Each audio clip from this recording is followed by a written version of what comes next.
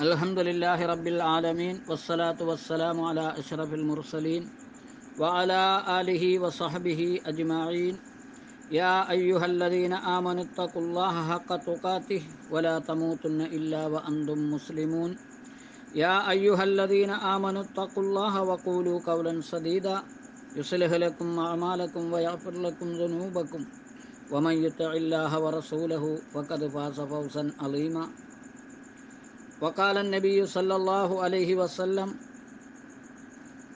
لا يكونن من أمتي أقوام يستحلون الهر والحرير والخمر والمعاصف أو كما قال شفيعنا رسول الله صلى الله عليه وسلم وعلى آله وصحبه أجمعين أما بعد അസ്സലാമു അലൈക്കും വറഹമത്തല്ലാഹി താല വബർക്കാത്തു ഇന്നിവിടെ ചർച്ച ചെയ്യപ്പെടുന്ന വിഷയം കവാലി അഥവാ സൂഫിയാക്കളുടെ ഇടയിൽ കണ്ടുവരുന്ന ഒരു സംഗീത സദസ്സാണ് കവാലി. ഈ സംഗീത സദസ്സിന് ഇസ്ലാമിക വിധിയെന്ത്? ഇസ്ലാമികമായിട്ട് വല്ല ബന്ധവുമുണ്ടോ? ഇതാണ് ഇവിടെ ചർച്ച ചെയ്യപ്പെടുന്നത്. ഇങ്ങനെ ഒരു വിഷയം ചർച്ചയ്ക്ക് വേണ്ടി എടുക്കാനുണ്ടായ കാരണം തന്നെ ചില ഗ്രൂപ്പുകളിൽ കവാലി എന്ന് പറയുന്ന ഈ സംഗീത വിരുന്ന്. നമുക്കറിയാം ഇന്ന് നമ്മുടെ കൺമുന്നിൽ കാണുന്ന കവാലി സംഗീത ഉപകരണങ്ങളുടെ അകമ്പടിയോടുകൂടി നടത്തുന്ന ഒരു സംഗീത സദസ്സാണ്.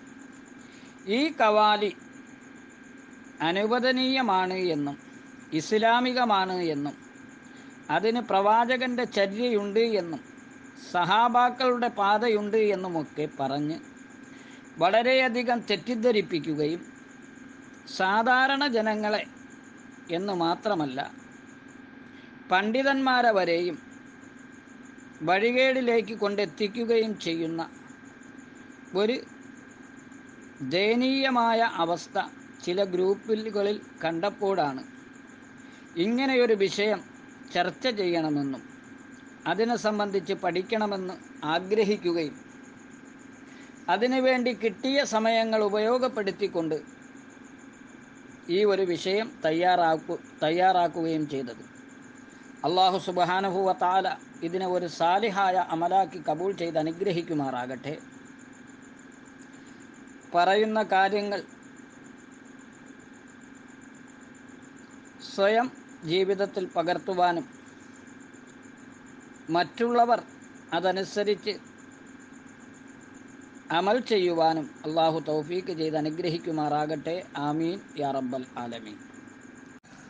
ഇന്ന് ഈ തരീക്കത്തുകാർ പറയുന്ന ഈ കവാലി എന്ന് പറയുന്ന ഈ സംഗതി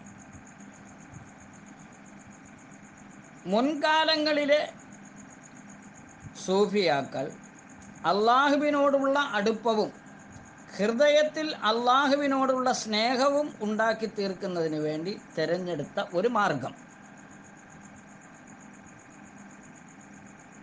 ആ സദസ്സിൽ ചില ഗാനങ്ങൾ കേൾക്കുന്നതിന് വേണ്ടി സൂഫിയാക്കൾ പ്രത്യേക പ്രാമുഖ്യം നൽകുന്നു. ഈ കവിതകളാകട്ടെ അള്ളാഹുവിനോടുള്ള മുഹബത്തുകൾ നിറഞ്ഞതും ആഹ്റത്തെ സംബന്ധിച്ച് ഓർമ്മിപ്പിക്കുന്നതും ഉപദേശങ്ങൾ അടങ്ങിയതുമായിരിക്കും. ഇതിനാണ് സിമാ എന്ന് അറബിയിൽ നമ്മുടെ പൂർവിക പണ്ഡിതന്മാർ ഉപയോഗിച്ചിരിക്കുന്ന പദം.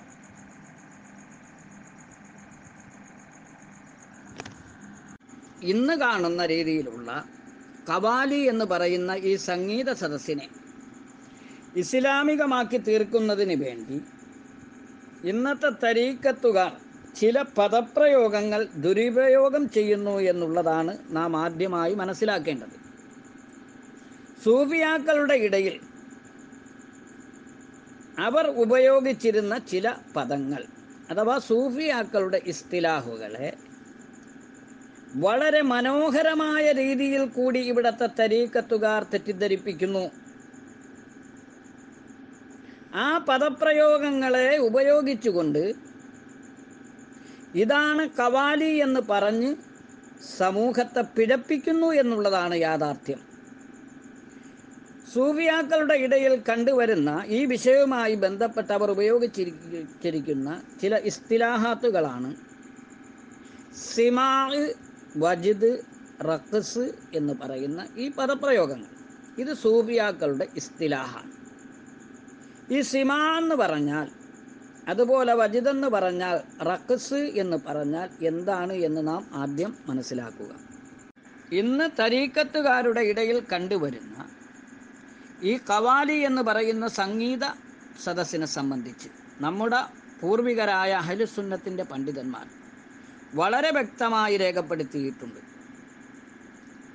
അതിലേറ്റവും പ്രസിദ്ധമായ ഒരു ഗ്രന്ഥമാണ് ബഹുമാനപ്പെട്ട വിനു ഹജറുൽ ഹൈത്തമി തങ്ങളുടെ. അൻ മുഹറമാത്തിൽ ലഹ്വി വസിമാ എന്ന് പറയുന്ന മഹത്തായ ഒരു ഗ്രന്ഥം. അതുപോലെ ബഹുമാനപ്പെട്ട കുർത്തുബീമാം ഈ വിഷയത്തിൽ ഗ്രന്ഥങ്ങൾ രചിച്ചിട്ടുണ്ട്. ഇങ്ങനെ പല അഹിലുസുന്നത്തിന്റെ മഹത്തുക്കളായ പണ്ഡിതന്മാരും അന്നത്തെ സൂവികളുടെ ഇടയിൽ കണ്ടുവന്നിരുന്ന കവാലി എന്ന് പറയുന്ന ഈ സംഗീത സദസ്സിനെ. അക്കാലഘട്ടത്തിൽ തന്നെ അവർ എതിർക്കുകയും ഹറാമാണ് എന്ന് രേഖപ്പെടുത്തുകയും ചെയ്ത ഒരു വസ്തുതയാണ്. എന്നാൽ അതിനേക്കാളൊക്കെയും കടത്തി വെട്ടുന്ന രീതിയിൽ കൂടി അക്കാലത്തുണ്ടായതിനേക്കാൾ വളരെ വ്യത്യസ്തമായ രീതിയിൽ കൂടി ഇസ്ലാം നിരോധിച്ച സംഗീത ഉപകരണങ്ങൾ ഉപയോഗിച്ചുകൊണ്ട് നടത്തുന്ന കവാലി തീർത്തും ഇസ്ലാമികമല്ല.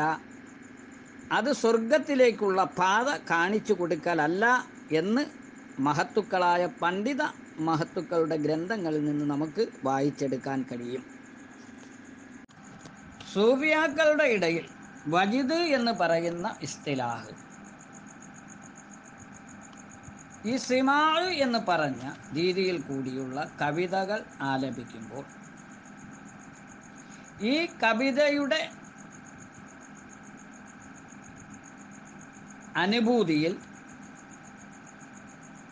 അവർ ഒരു പ്രത്യേക രീതിയിലേക്ക് മാറിത്തീരുന്നു. ഒരു പ്രത്യേക അനുഭൂതി അവരിൽ ഉണ്ടായിത്തീരുന്നു. യഥാർത്ഥത്തിൽ അവരുടെ നിയന്ത്രണം അവരിൽ നിന്ന് തന്നെ വിട്ടുപോകുന്ന ഒരവസ്ഥ. ഇതിനാണ് വജിദ് എന്ന് സൂഫിയാക്കളുടെ ഇടയിൽ അറിയപ്പെടുന്നത് സൂഫിയാക്കളുടെ ഇടയിൽ റഖസ് എന്ന പദം അറിയപ്പെടുന്നത്. ഇത്തരം സന്ദർഭങ്ങളിൽ സൂഫിയാക്കളിൽ നിന്നുണ്ടാകുന്ന ചില ചലനങ്ങൾ. കുനിയുക നൂരുക അവരുടെ ശരീരങ്ങളെ അങ്ങോട്ടും ഇങ്ങോട്ടും ചലിപ്പിക്കുക തുടങ്ങിയ രീതിയിലുള്ള ചലനങ്ങളെയാണ് റക്കസ് എന്ന് സൂഫിയാക്കളുടെ ഇടയിൽ ഉപയോഗിക്കുന്നത്. ഭാഷാപരമായിട്ട് അത് ആട്ടമെന്നോ ഡാൻസ് എന്നോ ഒക്കെ ആണ് അർത്ഥമെങ്കിലും സൂഫിയാക്കളുടെ ഇടയിൽ അറിയപ്പെടുന്ന ഇസ്തിലാഹ് ഈ രീതിയിലുള്ളതാണ്. ചുരുക്കത്തിൽ സൂഫിയാക്കളുടെ ഇടയിൽ അറിയപ്പെടുന്ന സിമാ വജിദ് എന്ന് പറയുന്ന ആത്മസംസ്കരണത്തിന്റെ രീതിയെ അല്ലെങ്കിൽ ആ പാതയെ ഇവിടെ ആരും എതിർക്കുന്നില്ല. എതിർത്തിട്ടും ഇല്ല. ഇതാണ് യാഥാർത്ഥ്യം. എന്നാൽ ഏതിനെയാണ് ഇവിടെ എതിർക്കപ്പെടുന്നത്? സിമാ വജിദ് എന്ന പദപ്രയോഗം സൂഫിയാക്കളുടെ ഇസ്തിലാഹുകൾ പൊതുസമൂഹത്തിലേക്ക് കൊണ്ടുവന്നിട്ട് അതിൽ പല കടത്തിക്കൂട്ടുകലുകളും നടത്തി. അതിൽ വാദ്യോപകരണങ്ങൾ ഉപയോഗിക്കാം. അതുപോലെ തന്നെ ഡാൻസ് കളിക്കാം. ഇത് സൂഫിയാക്കൾ നടത്തിയിട്ടുണ്ട്. അതിന് ഹദീസിന്റെ തെളിവുണ്ട്. പണ്ഡിതന്മാരുടെ ഉദ്ധരണികളുണ്ട് എന്ന് പറഞ്ഞുകൊണ്ട് ദീനിന്റെ ഭാഗമായി തീർക്കുന്നതിനെയാണ് ഇവിടെ എതിർക്കുന്നത്. അഥവാ ഇത്തരം വിഷയങ്ങൾ ഇവിടെ കൊണ്ടുവന്നിട്ട് ഫറലായിട്ടും വാജിബായിട്ടും സുന്നത്തായിട്ടും ഇസ്ലാമിന്റെ ദീനിന്റെ ഭാഗമായി ചിത്രീകരിക്കുന്നതിനെയാണ് ഇവിടെ എതിർക്കുന്നത്. ഈ ആത്മസംസ്കരണ രീതിയല്ല അക്കാലത്തുണ്ടായിരുന്ന രീതിയല്ല. ഇന്നത്തെ കവാലി എന്ന പേരിൽ അറിയപ്പെടുന്നത് എന്നുള്ളതാണ് യഥാർത്ഥമായ വസ്തുത. വളരെ വ്യക്തമായി നാം മനസ്സിലാക്കേണ്ട ഒരു കാര്യമാണിവിടെ. ഇബിനു ഹജറുൽ ഹൈത്തമി റഹ്മുള്ള സിമാൾ വജിദ് എന്ന് പറയുന്ന സൂഫിയാക്കളുടെ ഇടയിലുള്ള ഇസ്തിലാഹിനെ വിശദീകരിച്ചുകൊണ്ട് പറയുന്നത് വളരെ ഗൗരവത്തോടു കൂടി നാം മനസ്സിലാക്കുക ഇബിനു ഹജറുൽ ഹൈത്തമി റഹ്മുള്ള എന്താണ് പറയുന്നത് ഫലാനുസല്ലിമു അന്നൽ വജിദ മത്ലൂബുൻ ഷറാൻ لأنه لا يدخل تحت اختيار الأبدي ഫലാനുസല്ലിമു അന്നൽ വജിദ മത്ലൂബുൻ ഷറഅൻ ഈ വജിദ് എന്ന് പറയുന്നത് ഷറ തേടപ്പെടുന്ന ഒരു കാര്യമല്ല കാരണം ലായതുഹുലു തഹ്ത ഇഖ്തിയാറിൽ അബ്ദി ഒരു അടിമയുടെ ഇഖ്തിയാറിൽപ്പെട്ട കാര്യമല്ല ഈ വജിദ് എന്ന് പറയുന്നത്. കാരണം അവന്റെ നിയന്ത്രണത്തിൽ നിന്ന് പോകുന്ന ഒരവസ്ഥയ്ക്കാണ് വജിദ് എന്ന് പറയുന്നത്.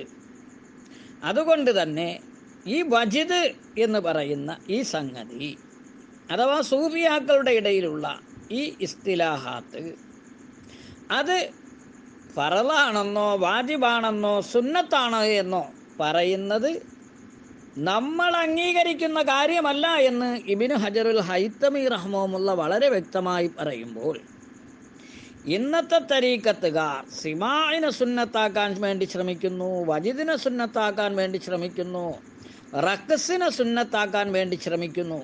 ഇവർ യഥാർത്ഥത്തിൽ ദീൻ കൊണ്ട് കളിക്കുകയാണ് ചെയ്യുന്നത്. ദീനിനെ മലീമസമാക്കുകയാണ് ചെയ്യുന്നത്. അഹിലുസുന്നത്തി വൽ ജമാഅത്തിന്റെ പണ്ഡിത മഹത്തുക്കൾ പറഞ്ഞതിനെയൊക്കെയും ഇവർ വെട്ടെറിഞ്ഞുകൊണ്ട് പുതിയ ഒരു മാർഗമാണിവർ ഈ തരീക്കത്തിന്റെ മറവിൽ തിരഞ്ഞെടുത്തിരിക്കുന്നത് എന്നുള്ളതാണ് യാഥാർത്ഥ്യം. അതുകൊണ്ട് ഇതിനെ ഫറലാക്കുവാനും വാജിബാക്കുവാനും സുന്നത്താക്കുവാനും തരീക്കത്തുകാർ ശ്രമിക്കേണ്ടതില്ല എന്ന് ബഹുമാനപ്പെട്ട ഇബിനു ഹജറുൽ ഹൈത്തമി റഹ്മുള്ള വളരെ വ്യക്തമായി ഇവിടെ വിശദീകരിക്കുന്നു. ഇന്ന് നമ്മുടെ മുന്നിൽ കാണുന്ന അവസ്ഥകൾ എന്താണ്?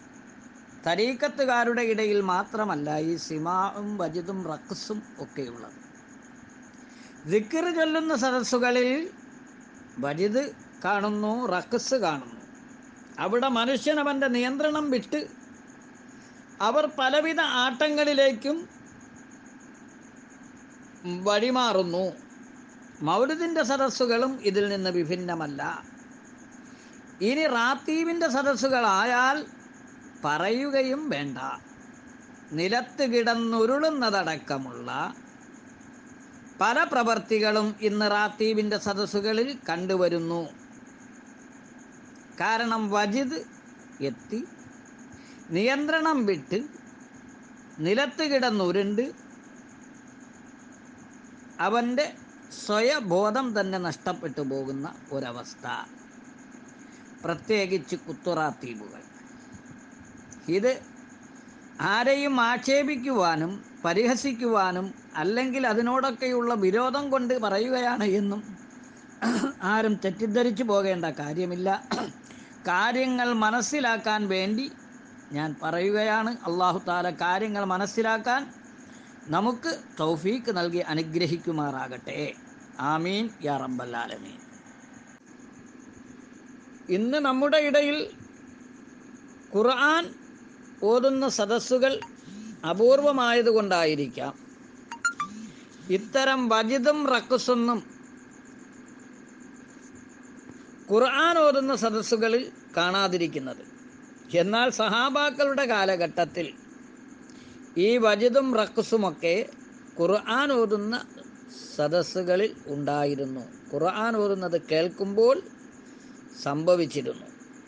അബ്ദുല്ലാഹിബിന് ഉറവത്തുബിന് സുബൈർ അലിയല്ലാഹു താലാന്ന് പറയുന്നു ഞാൻ ബഹുമാനപ്പെട്ട അസ്മാ ബി റളിയല്ലാഹു താലാൻഹയോട് ചോദിച്ചു നബി സല്ലല്ലാഹു അലൈഹി വസല്ലമയുടെ സഹാബാക്കളുടെ അവസ്ഥ ഖുർആൻ ഓതുമ്പോൾ എന്തായിരുന്നു?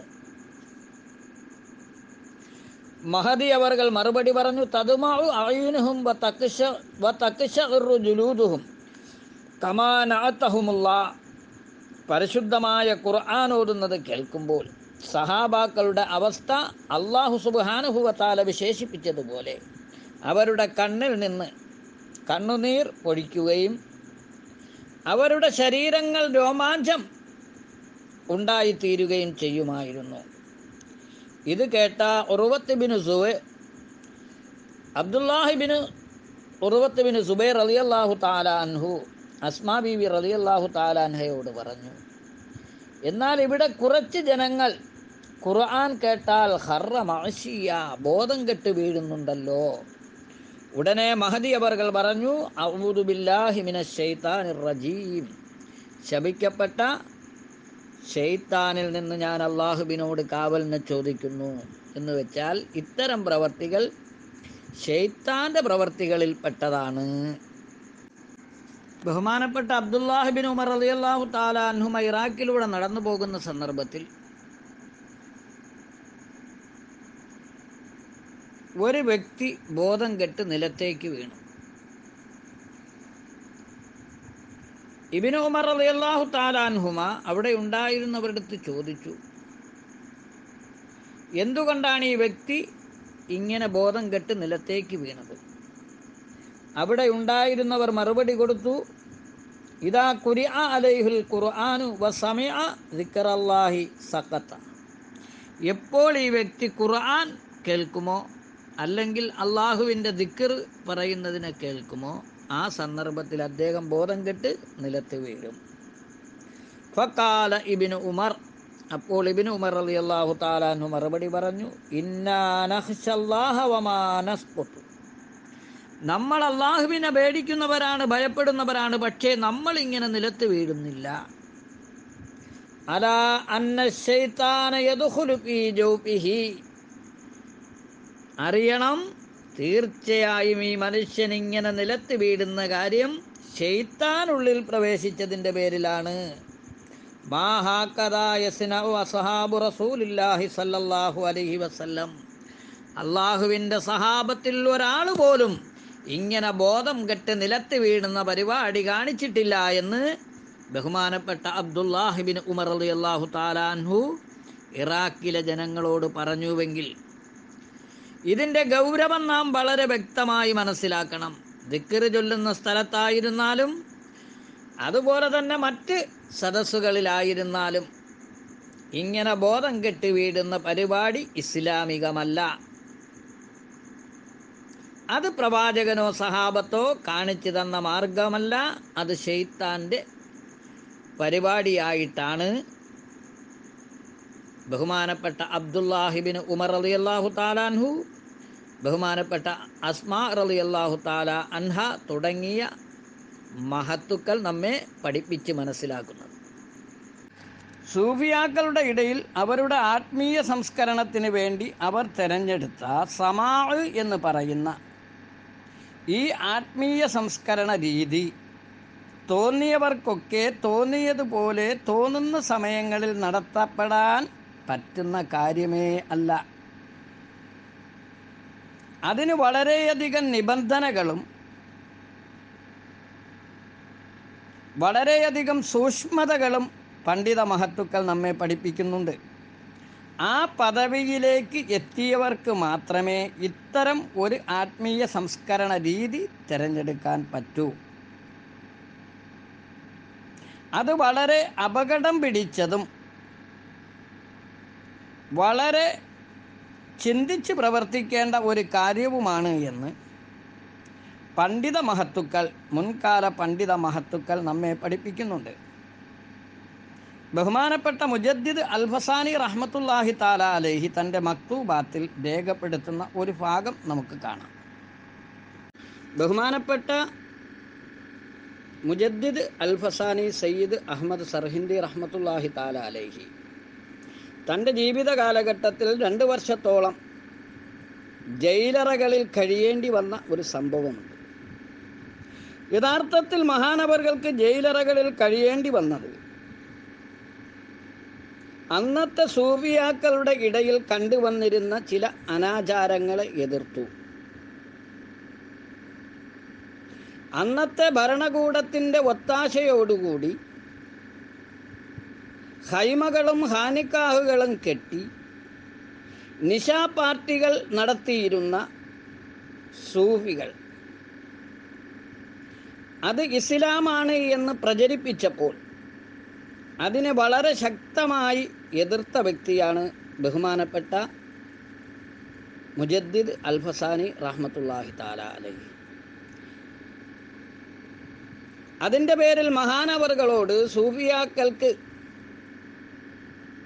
വളരെ എതിർപ്പുണ്ടാവുകയും വളരെ തന്ത്രപരമായ നിലയിൽ ഭരണസ്വാധീനത്തിൽ സ്വാധീനമുണ്ടായിരുന്ന സൂഫിയാക്കൾ മുജദ്ദിദ് അൽഫസാനി റഹ്മത്തുല്ലാഹി താല അലേഹിക്കെതിരെ പരാതി കൊടുക്കുകയും അതിന്റെ പേരിൽ മഹാനവറുകളെ കൊട്ടാരത്തിലേക്ക് വിളിച്ചു വരുത്തിയപ്പോൾ കൊട്ടാര ആചാരം പാലിച്ചില്ല എന്ന് പറഞ്ഞുകൊണ്ട് ജയിലറകളിൽ അടയ്ക്കുകയുമാണ് ഉണ്ടായത്.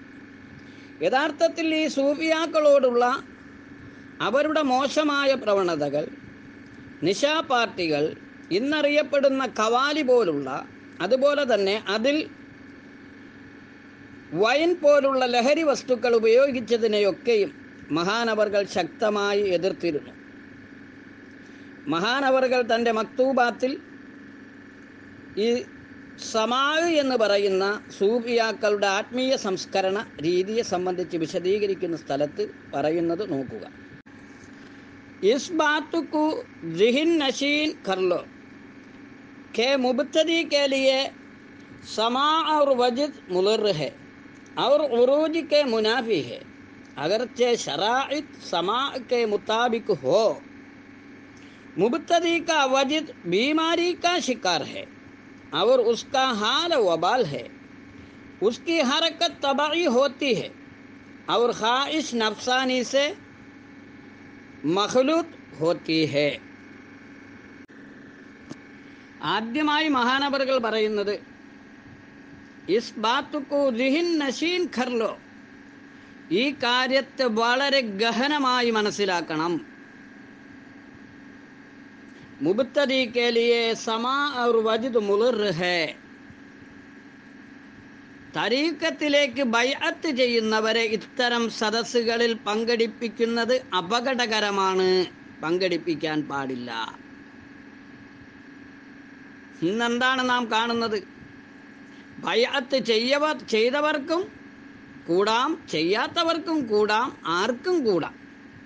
ഇതാണ് ഇന്നത്തെ തരീക്കത്തുകാരുടെ അവസ്ഥ. കാരണം ആളുകളുടെ തലയെണ്ണം കാണിച്ചാൽ മതി.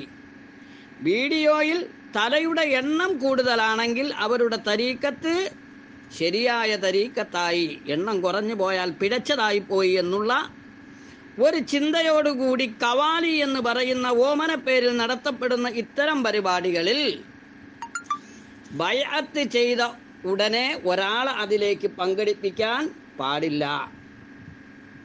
അങ്ങനെ പങ്കെടുപ്പിച്ചാൽ അത് ഉപകാരത്തെക്കാൾ ഉപദ്രവമാണ് ഉണ്ടാകുന്നത് അതവർക്ക് രോഗങ്ങൾ സമ്മാനിക്കുകയാണ് ചെയ്യുന്നത്. വളരെ അപകടം പിടിച്ച ഒരു പരിപാടിയാണിത്. അതുകൊണ്ട് ഈ ആത്മീയ സംസ്കരണ പാതയിലേക്ക് എത്താൻ പാകപ്പെടാത്തവരെയൊന്നും ഇത്തരം സമാഇന്റെ മജിലിസുകളിൽ പങ്കെടുപ്പിക്കാൻ പാടില്ല. അത് കവാലി എന്നുള്ള പേര് കൊടുത്തുകൊണ്ട് നടത്തപ്പെടുന്നതാണെങ്കിലും ശരി എന്ന് ബഹുമാനപ്പെട്ട മുജദ്ദിദ് അൽഫസാനി സൂഫ്യവര്യന്മാരുടെ സൂഫി വളരെ വ്യക്തമായി വിശദീകരിക്കും.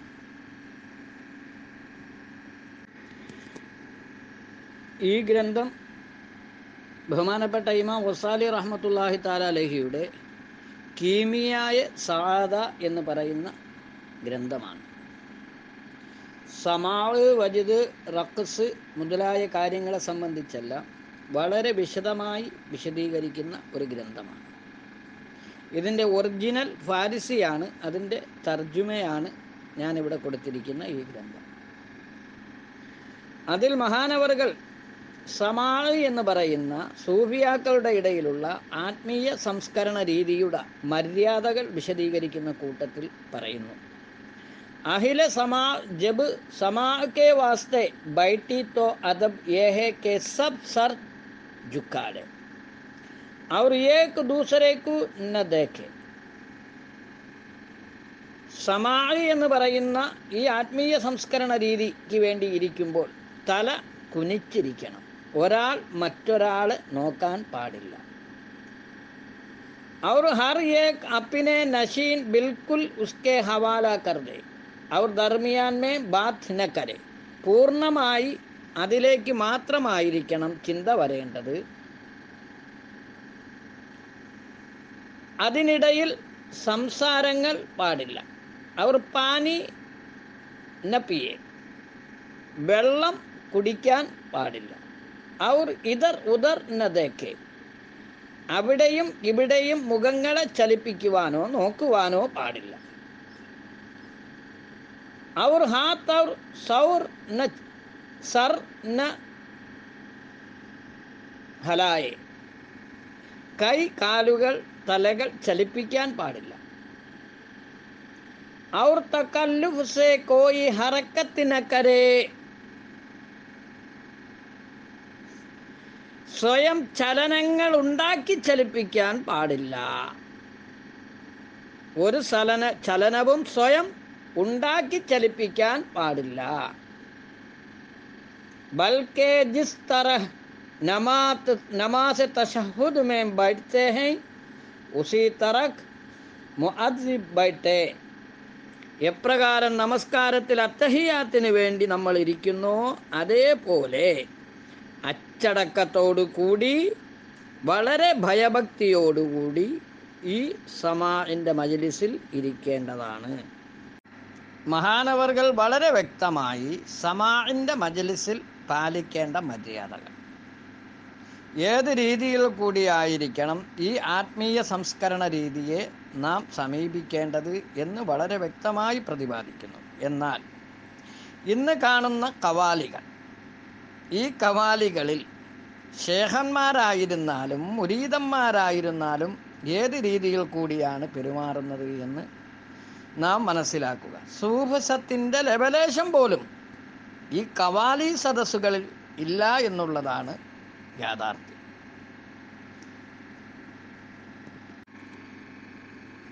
സമാഇന് വേണ്ടി ഈ ആത്മീയ സംസ്കരണ രീതിക്ക് വേണ്ടി സ്വയം തയ്യാറാകേണ്ടതാണ്.